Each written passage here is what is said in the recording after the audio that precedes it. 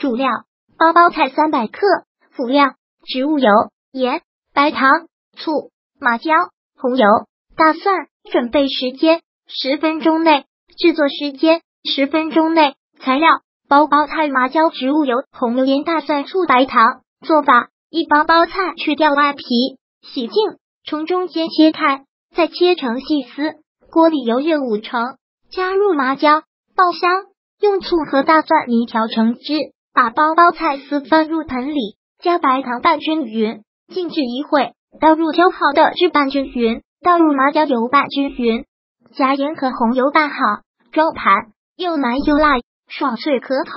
烹饪技巧一定得先白糖，可以使包包脆，颜色也好看。